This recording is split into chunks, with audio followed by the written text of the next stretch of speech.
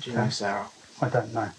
Okay. But we now know this serial sex offender could and should have been stopped much earlier, years before, and should never have been a police officer to begin with.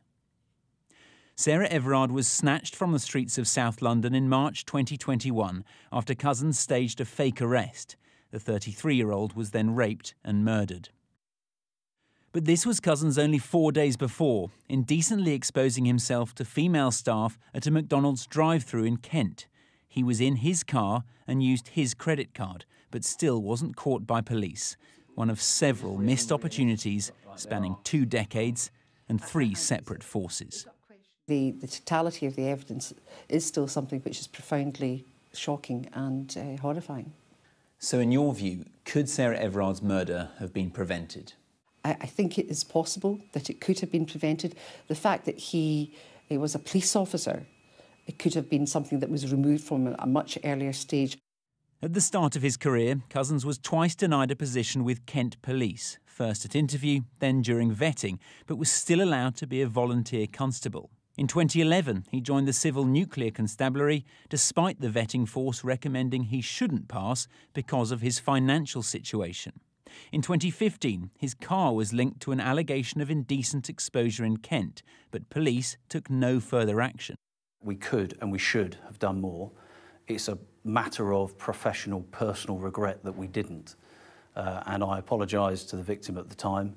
Despite still being linked to that allegation, he was allowed to join the Metropolitan Police in 2018. Another indecent exposure followed in 2020 that was again not properly investigated, this time by Kent Police.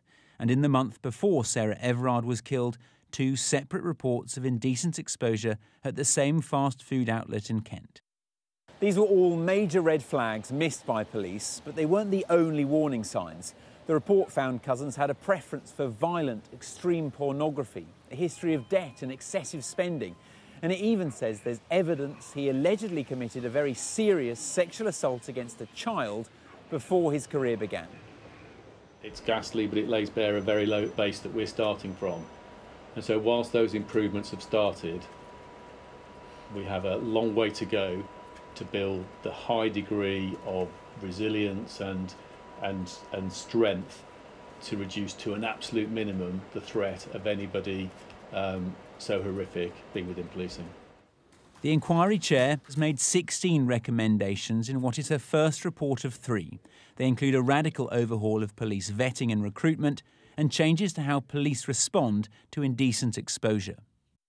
In a statement, Sarah Everard's family said, We strongly support the recommendations that Lady Elish has made and trust that these will be implemented forthwith. We believe that Sarah died because Couzens was a police officer she would never have got into a stranger's car. And that is the bottom line. He was given a position of trust that he so appallingly abused, and there were numerous chances for police to prevent it. Ivor Bennett, Sky News. Our Home Editor Jason Farrell is uh, with me in the studio now. And Jason, the Prime Minister tonight calling for urgent uh, changes from the police, but mm. what can they do? Well, the Met Commissioner has promised a crusade against rogue officers, but what this report is saying is it's not enough without a radical overhaul that someone like Wayne Couzens could continue to lurk in plain sight. We heard from the Shadow Home Secretary, Yvette Cooper, saying that they wanted mandatory vetting standards and that they're not still, still in place. We also heard from the Home Secretary today saying that they're announcing automatic suspension of police officers charged with certain crimes. I think uh, Labour want um, people suspended for suspicion of certain crimes. Um, and what this report shows also is that Wayne Couzens was able to just not just get away with one vetting process, but pretty much dodge things throughout his career. And so it shows the level of problems. But I think there's something else as well that comes out in this report. A lot of people came forward after Wayne Couzens' face appeared. And what it showed is that a lot of times investigations hadn't been done properly. And it's raised questions about policing itself of the general public. Uh, for example, uh, the best example is just um, a few days before Sarah Everard was murdered, Wayne Couzens exposing himself twice. Uh, they had his car, they had his credit card, they had his number plate. It didn't take incredible policing to track him down, and yet they failed. So there's a public confidence issue just around policing. That was a member of the public, but if they had actually worked it out and followed the clues, they would have discovered it was a police officer. And so a lot of this report is talking about you actually just need to have better training around things like people exposing themselves, and also better awareness of the public of, of, this crime being committed. And another interesting factor as well, it's calling for more female police officers and better support for those female officers when they report a sexual complaint. OK, Jason, thank you. Too many Palestinians have died. The verdict from the United States on the day that the total number of people killed inside Gaza since October the 7th passed 30,000, according to figures published by the Hamas run Health Ministry. The US estimates the total figure includes 25,000 women and children. But pressed by Sky News, a Biden administration spokesperson tonight could not answer how 80% civilian deaths was anything other than a failure of American leadership. Today, 104 were reported to have been killed after an incident involving Israeli forces and an aid convoy, with both sides giving radically different accounts of what happened. Our Middle East correspondent, Alistair Bunkall, reports.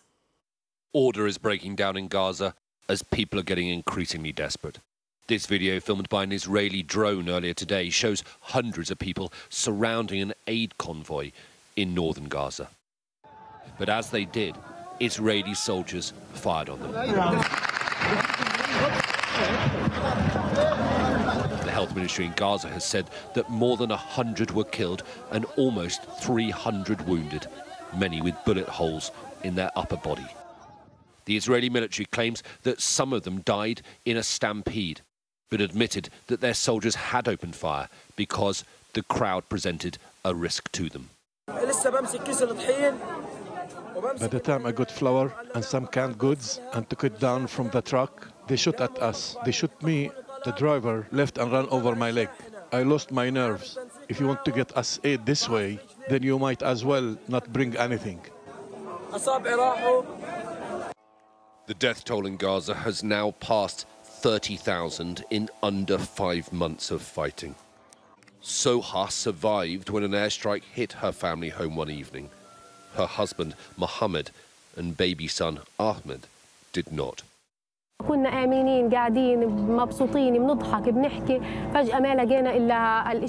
were sitting in peace, safe, happy, talking and laughing. Then all of a sudden this happened. Nobody knows till now why this happened, whether it was justified. We haven't done anything wrong. What wrong did a six month old do? He was sleeping beside me. What wrong did the other six month old girl do? She was also killed. Most of our family were small children. Most of the children were killed. Some of them are still under the rubble. My husband, we didn't find his body. My son was pulled out, but I couldn't say goodbye to him. The Israeli military says an estimated 14,000 Hamas fighters are being killed and says that Hamas continues to use civilians as human shields, which is one reason for the high civilian death toll. The civilian cost of this war is it's tragic. It is a result of Hamas's aggression. It is a, a result of Israeli military activity as well. It's a result of Hamas's aggression. It's a result of how Hamas has systematically strategically, with intent, weaponize the civilian arena, the civilian battlefield, to try and give themselves an iron dome with the use of their people. The situation on the ground is now so bad that airdrops are considered the most effective and safest ways to get supplies into parts of Gaza. In the torchlight, they tear through cardboard boxes for any scraps of food left from the latest drop. After months of war, it has come to this. Children rooting around in the dirt to find anything they can eat. Alistair Bunkall, Sky News in Jerusalem. Well, let's look at what uh, we can establish about what happened in that incident around the aid convoy. It was travelling north along Al Rashid Street, the main coastal road in Gaza City. Sky News has geolocated multiple pieces of footage taken at the time. The first, taken by an IDF drone, shows trucks moving north. Around 20 people appear not to be moving, although it's unclear if they're dead, wounded or sheltering. More IDF footage, 400 metres up the road, shows a large crowd surrounding several of the trucks. And a third, taken from the ground, shows a crowd appearing to flee as gunfire rings out. The events unfolded over a large area of around 600 metres and around 400 metres from a newly established Israeli checkpoint. The threat of nuclear war has hovered over the world since Russia's invasion of Ukraine. And today, Vladimir Putin once again raised the temperature by warning of a nuclear war if NATO countries send troops into Ukraine. The Russian president was speaking in his annual State of the Nation address. Our international correspondent Diana Magnay reports from Moscow. It was a long speech, over two hours. But Vladimir Putin kept the fighting talk for the start, tackling head-on debates in Europe over possible ground troops for Ukraine and strikes beyond Ukraine's borders. They must grasp that we also have weapons. Yes, they know this, as I've just said, capable of striking targets on their territory. He said his forces in Donbass had the initiative and would continue to press on. He warned of the dangers of nuclear war, even as he boasted of his own nuclear arsenal. And he said the US could not pick and choose when they wanted to talk. They have recently made unfounded allegations, in particular against Russia, regarding plans to deploy nuclear weapons in space. Such fake narratives, and this story is unequivocally false, are designed to involve us in negotiations on their conditions, which will only benefit the United States. But this was mostly a pre-election speech, State of the Nation style, talking up the family, the economy and the future. As the event wrapped up, a mass outpouring of mostly men, 100% Team Putin.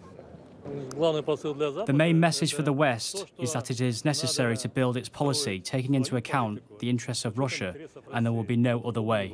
The West shouldn't be afraid. We're not going to, uh, to attack anyone, that's for sure. But uh, Russia attacked Ukraine. Uh, no, uh, Russia is defending uh, their people.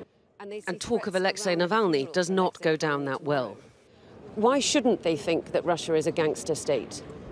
No comment, he says. There is a perpetual sense of victimhood to Vladimir Putin's speeches. The it's not us, it's them, the West is out to get us, whilst also saber rattling, discussing about how a nuclear war would be catastrophic. But I think the fact that we were even invited this year as Western press, where for a long time we haven't been, speaks to his confidence at the moment. And all the while, in another corner of Moscow, preparations underway for the burial of Alexei Navalny, who will be laid to rest on Friday. The police already in situ, unclear how the day will unfold. Diana Magnay, Sky News, Moscow. Well, the polls have just closed in the Rochdale by-election, one of the most divisive in recent times. Our chief political correspondent, Jon Craig, that joins us live from the count. And Jon, it's um, early in the evening, but what can you tell us? Anything? This has been a contentious, controversial, chaotic by-election campaign. It's all about three candidates, all of whom used to be Labour candidates. Uh, we have George Galloway, the firebrand pro-Palestine uh, Scot, uh, who uh, is now uh, leader of the uh, Workers' Party. He's been tipped to win this. Bookies have made him favourite earlier this week. He was a Labour MP for 16 years. Then there's Simon Danczuk, who used to be the uh, Labour MP for Rochdale here from uh, 2010 to 2015. He's standing for reform. And then there's Azhar Ali. Well, he was the Labour candidate until he got dumped by Sir Keir Starmer, the comments he made about Israel, although he's still at the top of the ballot paper. Azhar Ali, of course, beginning with A, so that's an advantage possibly for him. Some here are saying it's too close to call, others are tipping a Galloway victory. Labour are defending a majority of just under 10,000. That was won by the late Sir Tony Lloyd, uh, who uh, died in January. Labour rushed to hold this by election really quickly. That's how they got into a mess with Mr. Ali. Nominations had closed when they dropped him. That's why he's still on the ballot paper.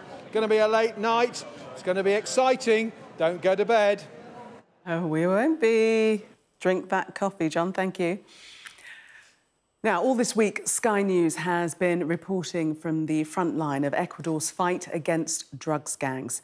Today, we follow the nation's Navy patrols taking to the water to help crack down on the cartels smuggling millions of dollars worth of drugs into North America. Well, back in January, the president declared a state of emergency lasting 60 days. Cartels in Ecuador control a thriving trade in narcotics and rely on access to the coast in many cities, including Esmeraldas. They use dozens of smuggling routes from Ecuador going north, and they've recently been using new routes to avoid detection. But armed Marines are in pursuit. Sky's chief correspondent, Stuart Ramsay, joined the military on patrol off the coast of Esmeraldas in the third of his special reports. Armed Marines board fishing boats off Esmeraldas on Ecuador's Pacific coast. These intercepts are constant and part of the country's crackdown on cartel and gang activity. They're looking for drugs being smuggled to North America and abnormally large quantities of fuel the smugglers need for the journey north or signs of piracy. What they're looking for is not just necessarily drugs. Oh, no, no, no. But it can actually be fuel as well. So some of the small fishing vessels can have um, fuel which will then be given to the fast boats that the drug users or the drug smugglers use. These are fairly random checks just to see if the paperwork's correct or not. An interceptor speedboat is launched on the move from a Coast Guard cutter as more Marines begin another Pacific Ocean patrol. This crew is looking for bigger and faster drug smuggling vessels that use these waters. We're sailing off the Galapagos Islands, its seas rich with marine life. But the drug dealers aren't interested in this place. They don't even come ashore. Rather, they seek the quieter waters to the south of the Galapagos with less maritime traffic. We join Commander Xavier Rubio's team on one of their regular patrols on the cutter Isla Isabela. His crew recently captured a smuggler boat with one and a half tons of cocaine on board with a street value of $200 million in Europe. Air Force surveillance cameras show the interceptor boat closing in on the smugglers. They maneuver into the target vessel's wake at high speed. They're using the waves as cover. The smugglers at this point don't know they're there. Then they're spotted, and the smugglers attempt to accelerate away. But the Coast Guard anticipate the move and overtake them and cut across its bow. The Marines board the vessel, arrest the crew, and uncover their illegal cargo a lot of people have discussed and I've, I've been reading about recently is that people who are using cocaine in, in North America or using cocaine in Europe and using cocaine in the UK, which is one of the big users, have no idea that it comes from somewhere and where it comes from there are gangs, there's poverty, there's murder, there's death. People don't think about the consequences. I don't know if people think about that, but we know that is one of the biggest business in the world and where the money is involved, bad people is involved. South American governments like Ecuador see taking the fight to the cartels and the gangs as their own war on terror.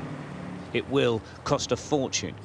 This country sees this war as an actual fight for its survival. Stuart Ramsay, Sky News, Ecuador. Ireland's President Michael D. Higgins has been taken to hospital after feeling unwell. The 82-year-old was reportedly taken to hospital in Dublin for tests as a precautionary measure. Material purporting to be the alleged evidence in the investigation into Christian Horner's behaviour towards a female colleague has been leaked to numerous media organisations and F1 team principals from an anonymous email account. The Red Bull team principal said, I won't comment on anonymous speculation. Prince William has said anti Semitism has no place in our society on a visit to a synagogue in central London. It was the Prince's first public appearance since he pulled out of a memorial service on Tuesday and followed his recent call for fighting in, in the Israel Hamas war to end as soon as possible. The two likely candidates for the US presidency are today making competing visits to the Texas border with Mexico as immigration threatens to become one of the defining themes of the upcoming campaign. Mr. Biden's favorability ratings on the issue have plunged in the past year. So, could it cost him the White House? Our US correspondent Martha Kellner reports. It's the potent political issue of 2024, and these the people in the crosshairs. Migrants stuck for the moment in no man's land at the wall which separates Mexico and the United States. With border crossings at record highs, the president knows it's a serious vulnerability for his re election campaign. Folks, it's real simple. It's time to act. It's long past time to act. And for his likely contender, a major opportunity both men making dueling visits to the southern border. The United States is being overrun by the Biden migrant crime. It's a new form of uh, vicious violation to our country. And this is where Donald Trump's rhetoric is reverberating. Nothing is more important to voters in the entirety of the, of the U.S. because we've basically made our country into a sanctuary country. This group of veterans in San Diego are driving in convoy to the border wall. Derek is a former Marine turned estate agent. It just takes one. It takes one to cause, you know, another 9-11 or an October 7th in, in Israel. You know, my wife travels with four kids. She doesn't have the training that I do that goes around and, you know, is, is aware all the time. Yeah. She, she just doesn't. so, yeah, it, it definitely worries me. Donald Trump talks about um, immigrants poisoning the blood of America. What do you make of that sort of language? Illegal immigrants. I don't want here that are going to people that are going to come over and just suck the system dry. Where the wall ends, the group have laid razor wire in a bid to thwart what they say is an illegal invasion. What happens to someone if they get caught on this? Dangerous? They get injured. it hurts. We tried to make it painful enough upon arrival that they would just find another way. For those who do make it through, this is what their first few hours in the US looks like. Waiting on a pavement in central San Diego is Maria from Ecuador. She says she's fleeing gang violence. The situation in Ecuador, it's ugly, it's dangerous. We came over here for a better future, to support our family and to stay for a while. Many wear tracking devices on their ankles to monitor them while their asylum claims are processed. Immigration isn't just a flashpoint in border cities. These migrants are heading to the airport and destinations across the US. Laurie and Tom from Denver, Colorado say the system in their city can't cope. We can only handle so many people. Mm-hmm. We only have the resources for so many, and allow people just to keep coming in and coming in, something's going to break. You think Donald Trump would protect the border better than the Biden administration currently is? I think anybody would protect the border better than the Biden administration, regardless of who that is, truthfully. It's scenes like this in downtowns across America that feed fears about immigration. President Biden knows he has to turn this issue to his advantage if he's going to prevail over Donald Trump. Martha Kellner, Sky News at the US Mexico border. Today, the Home Office published 13 reports by its sacked border watchdog after months of delays. Throughout the newly published reports, David Neal highlighted major failings in government policy and said that Home Office data was inexcusably awful. Gurpreet Narwan reports. Asking because obviously some of these are going back to serving up uncomfortable truths. The government's former border chief, David Neal, who was sacked after leaking internal information to the press. And I've been sacked for uh, doing my job. Um, I think I've been sacked for um, doing what the law asks of me. He says the government has been sitting on his reports. Now, 13 of the 15 have been published, and they paint a damning picture of a chaotic and dysfunctional department. It raised serious safeguarding concerns around DBS checks at hotels where children were being housed. It also said the protection of the border was neither effective nor efficient. And they said only two people had been removed from the UK under strengthened rules that disqualify people from asylum if they've passed through a safe country. The context for all of this is interesting. Some say that the delay in publishing these reports hint at a government that is attempting to avoid scrutiny on the very policies it's trying to win voters over on in the upcoming general election.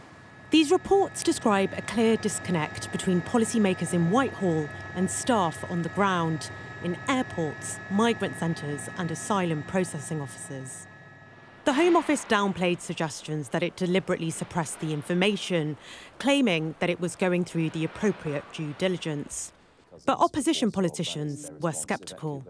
I think they're trying to hide things. I think they've been trying to sit on these reports for very many months and now just suddenly release them. Serious problems and chaotic problems in the way that Conservative Home Office has been run after 14 years of the Conservatives in power. I just think it's not good enough. Whether deliberately suppressed or not, these reports were published in a data dump late on a Thursday afternoon. A recognition, perhaps, that these reports are hardly flattering for the government. Gurpreet Narwan, Sky News. TV chef Dave Myers, best known as one half of the motorcycle riding cooking duo the Hairy Bikers, has died at the age of 66. Announcing his death, his co star, Si King, said, My best friend is on a journey that for now I can't follow. Our arts and entertainment correspondent Katie Spencer looks back at his life. And there's the ladies who make this all possible. Merry Christmas, girls. His northern wit was a delight to watch. If this was oil, that'd be Texas. Dave Myers, the bespectacled half of the Hairy Bikers duo, was a regular on British television for over two decades. Their friendship extended to the many who tuned in to watch the pair travel, laugh, and cook together, bonded through their love of food. I keep giving these memories of all the, the things, because we were mates for 10 years before the bikers. Yeah. And those 10 years, all the mad adventures we had, the mad ideas, it keeps flooding back to me. you know, essentially, I haven't changed. Two gadgets sitting on a bench. Myers was born in Barrow in Furness, Lancashire. The pair met in 1995. Both worked in TV production, Myers as a makeup artist specialising in prosthetics, Si King as a location manager. After moving to front of camera and finding fame through their cooking show, the pair published numerous books, selling in excess of six million copies. Years of eating gorgeous food have taken a toll. Even launching their own diet club, admitting they had a wake-up call after a doctor told them they were both middle-aged and morbidly obese. Their relatability, part of the appeal.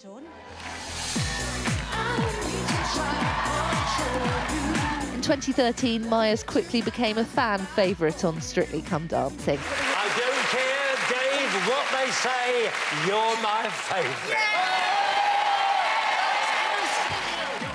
What he lacked in skills, he made up for with enthusiasm. More recently, on their cooking show, he'd spoken openly of his cancer diagnosis less than two years ago. When I was told I was ill, I never thought I'd ride a motorcycle again. There's a spirit of Dave that I've always loved. Although chemotherapy had left him too unsteady at first to get on his beloved motorbike, he'd managed to return to filming towards the end of last year, travelling from Scotland to Devon in the latest BBC Two series currently on air. Theirs was a show free of the arrogance or ego of the professional TV chef. People kept watching because of the pair's enthusiasm for eating. The warmth and wit of Dave Myers, an essential ingredient in making the Hairy Bikers an enduring success. Katie Spencer, Sky News. Dave Myers, who's died at the age of uh, 66. That was Sky News at 10. Coming up, we'll take a first look at tomorrow's newspapers in the press preview. Tonight, we're joined by the Daily Express columnist and broadcaster, Carole Malone, and the political editor of the Liverpool Echo, Liam Thorp. And amongst the stories, we'll be discussing this on the front of the Financial Times. Its headline Putin menaces West with warnings of nuclear risk in war over Ukraine. Do stay with us. We'll be right back.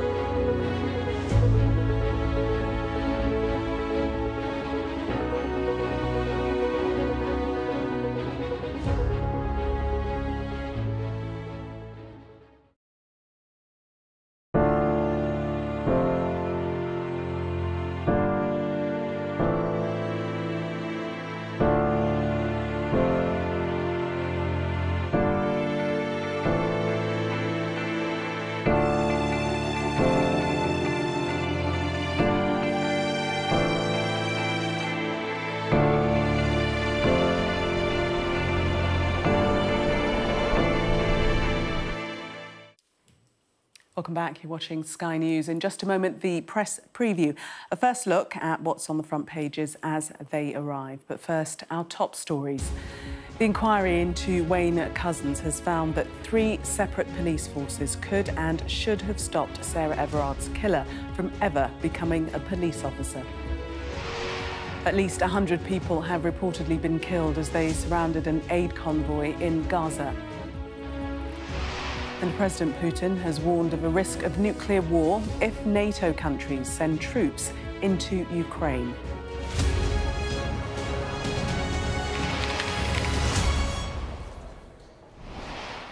Well, it's time to see what's making the headlines with the Daily Express columnist and broadcaster Carole Malone and the political editor of the Liverpool Echo, Liam Thorp. They'll be with us from now until just before midnight. So let's see what's on some of those uh, front pages for you now. Well, nothing to stop another police killer like Couzens. The Times leads with the release of the inquiry into the murder of Sarah Everard that's recommended an overhaul in policing. Russian President Vladimir Putin's threat to use nuclear weapons over the West's support for Ukraine is on the front of the Financial Times. Meanwhile, the Telegraph suggests Russia is deliberately flooding Europe with migrants to destabilise the continent. The Guardian's front page has reports that more than 100 Palestinians were killed in an incident involving Israeli forces and an aid convoy, with both sides giving different accounts of what happened. The i has a story about next week's budget, reporting a 2% tax cut is now in doubt due to bad economic forecasts. The Daily Express carries a warning from the former Home Secretary, Suella Braverman, that current immigration levels cannot go on or Britain will become unrecognisable. Britain's broken borders is the Daily Mail's headline on the just published Home Office reports into immigration. The Metro dedicates its front page to the hairy biker star Dave Myers, who's died at the age of 66. As does the Daily Star, with the tribute, My best friend is on a journey that for now I can't follow. And a reminder that by scanning the QR code you'll see on screen during the programme, you can check out the front pages of tomorrow's newspapers while you watch us. And we are joined tonight by Carole Malone and Liam Thorp. Welcome again to both of you. Let's start with the case of uh, Wayne Couzens, The report has um, been published now, and the chairwoman, well, this is a quote on the front page nothing to stop another police killer like Couzens. Extremely depressing, Liam. Incredibly depressing, incredibly shocking, incredibly scary, I think, uh, those words from Lady Angiolini, you know, the number of failures across three different police forces to stop this man uh, from from being allowed to become a police officer at all and and do the, the heinous crimes that we saw him do is staggering, to be honest. And, and when you you look through the report at the the, the number of red flags, the number of warning signs that were there. You know, the, I mean, I'd say I'd go far beyond red flags. You know, he's been reported to police eight times mm. for indecent exposure. How on earth does that not stop you being a, a police officer and, and become recognised for the criminal that you are? You know, this isn't just about a criminal who was, you know, getting away with it. This is about a criminal who was getting away with it and then became a police officer. He had a gun, he had handcuffs, and we know from the harrowing details of the Sarah Everard case that he used that position as a police officer to, to, to do what he did, which is uh, one, you know, amongst the most horrific crimes we've, we've ever heard. It's, it's a, a grotesque failure across policing in general, and I think it's going to take a long, long time and an enormous amount of change for people to regain that trust in the police. And, and as Lady Angiolini says, you know, this, is, this needs to be done now. It, this, this can't be kind of moving, moving at the kind of pace that it is now. I saw a, a member of the Great London Authority speaking before saying she still doesn't think that the police quite get the scale of this, the scale of change that's needed, the pace of change that's needed, um, and it needs to be wholesale reform if people are ever going to trust in their police again. Mm. And Carole, the Prime Minister Rishi Sunak saying this evening that the police absolutely do need to regain the trust of the public. Mm, absolutely. Um, I think it's going to take a long time before that happens. But what struck me today was um, Sarah's mum uh, making the statement today. It's very rare that she has said anything since the murder of her daughter. In fact, I'm not entirely sure she has. Uh, but I, I was thinking about her today, watching her, and, and she said, she said, my daughter would still be alive if he hadn't been a cop because she would never have got into a stranger's car. But but I, I think the, the you know it's bad enough having your child murdered. It- It's all it's impossible to get over, but what is entirely impossible to come to terms with that she could still be alive if there hadn't been these catastrophic failures to stop him. And and I think I would say now that you know having you know read stuff from this report that a lot of the people who allowed him to get away with it. I want to know if they're still in the police force. This guy's nickname was the rapist, for God's sake, you know, and, and he had lots of colleagues. You know, I, I have a lot of time. I think the cops get a hard time on lots of stuff, and a lot of them work very hard, and a lot of them are very good and decent. However, the ones that knew this was happening and that stood by and did nothing when they knew he was the one exposing themselves, they saw uh, he was part of a WhatsApp group, for goodness sake, that was sending porn to, they were sending porn to each other. They heard the way he spoke about women. What kind of coppers are they if they are still in position? They shouldn't be. They should be rooted out because they are part of the problem. They are what the uh, Lady Elish is talking about. They are. But do you they- think that, that that's indicative of, of a culture, or- Yes, or they just absolutely. some bad apples? Uh, no, no, I think that's indicative of a culture. You know, he was in three separate police forces, people who witnessed this kind of behaviour from him, and no one did anything. You know, there were police forces who, it, it was flagged up that he had exposed himself somewhere and the, the car reg matched his. They dismissed it without ever even talking In to the him. for days before the, Yeah. the murder as well. They, they never even before. spoke to him. So Sarah Everard would still be alive today if some of his colleagues had spoken up and had this guy chucked off the force. But there seems to me to have been a reluctance on the part not just of his colleagues, but of bosses in these police forces who knew about his reputation and still they did nothing. I think uh, Lady Elish described some of the investigations as uh, lethargic, inadequate, and inadequate. I'd go much farther than that.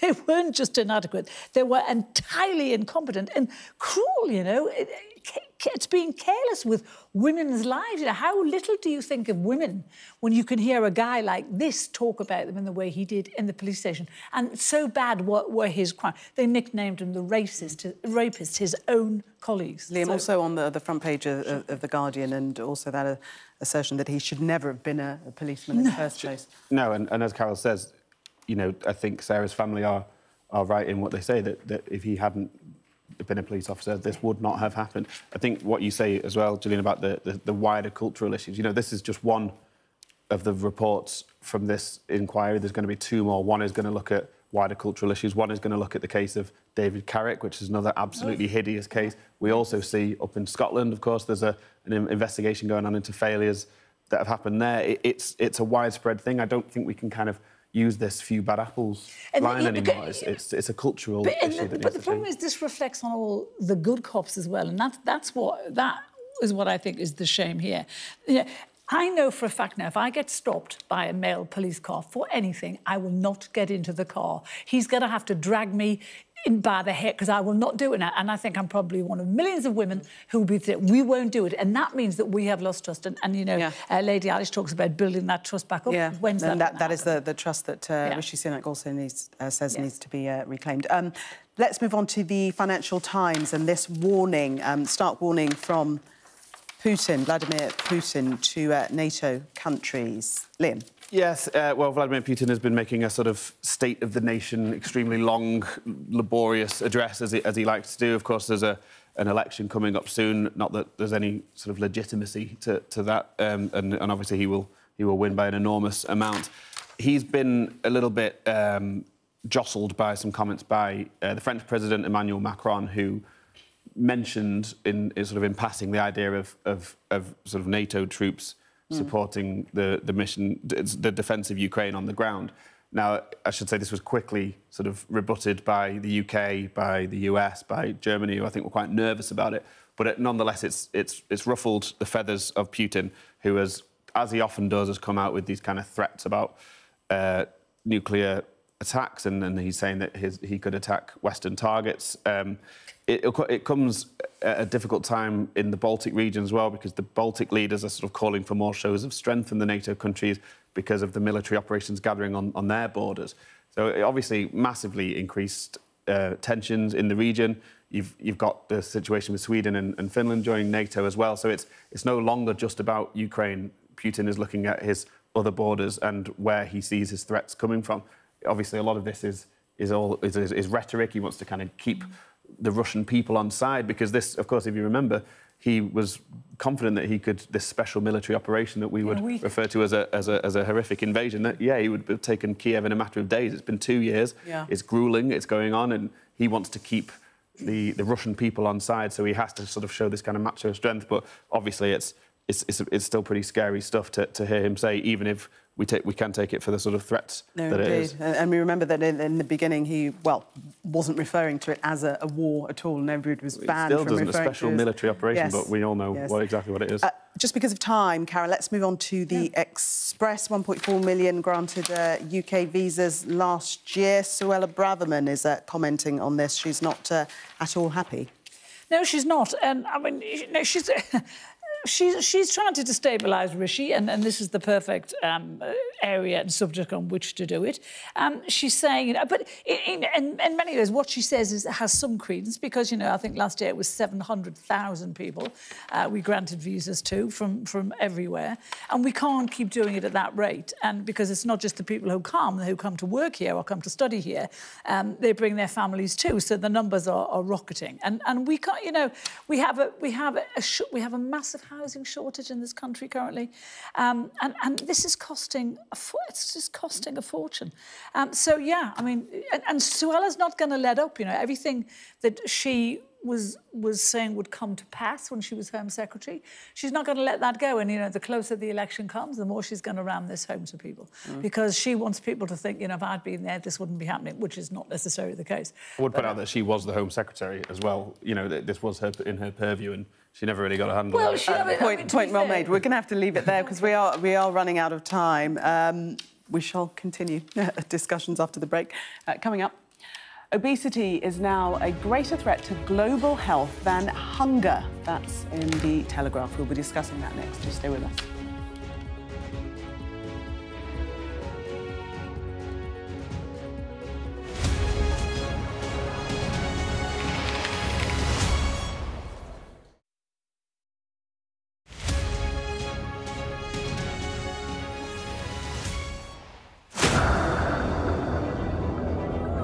I hit that water, I felt so victorious. I have had times in lessons where I've been struggling to walk, I've not been feeling well, and in the water, it all fades away, and I'm just a different person. And learning to swim has been so freeing.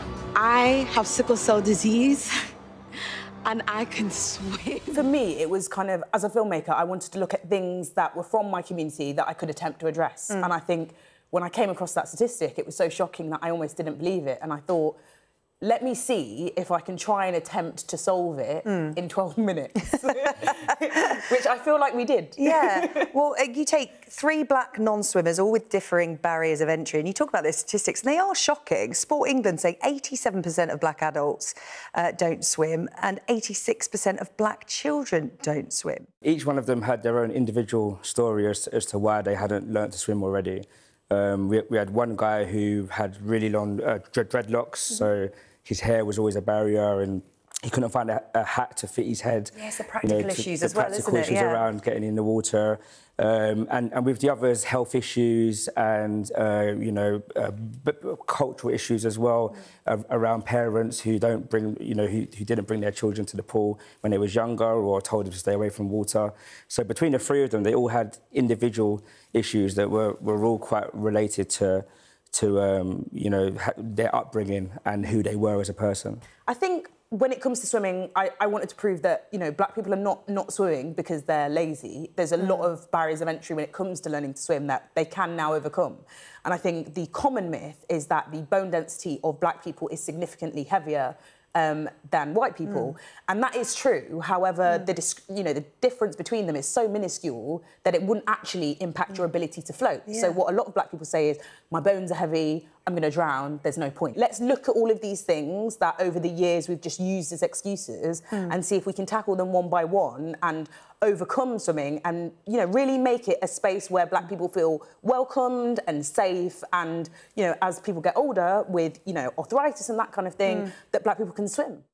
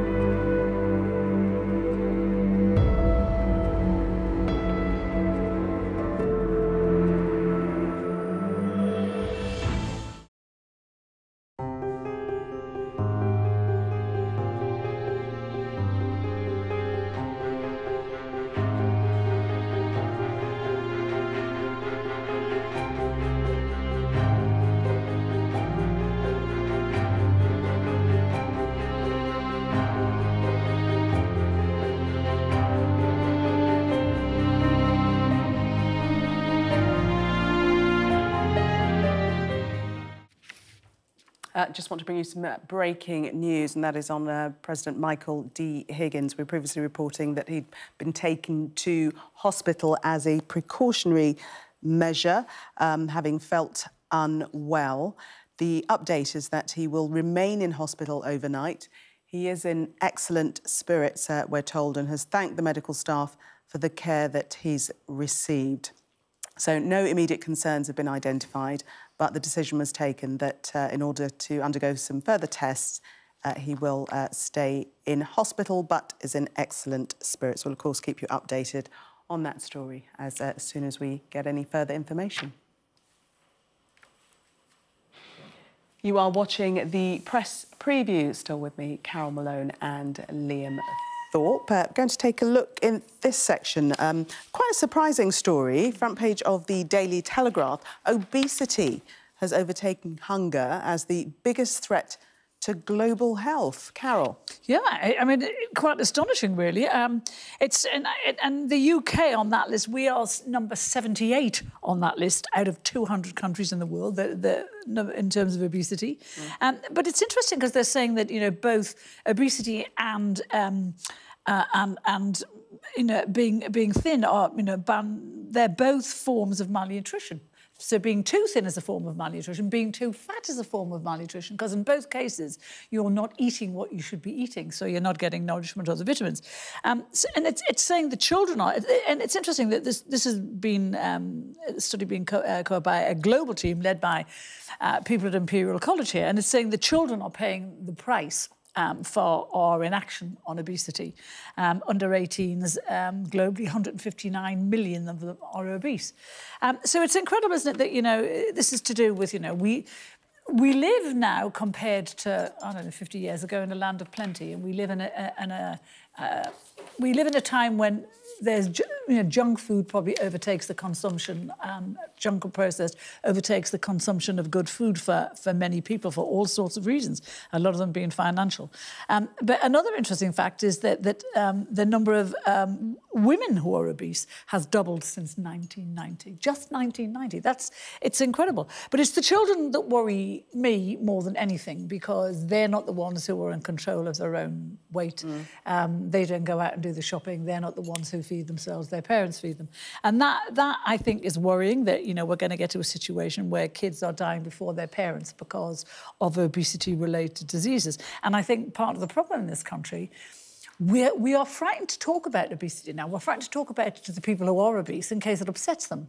Well, you know, compare upsetting them than with them getting, you know, diseases like heart disease, like lung disease, like diabetes, all the things.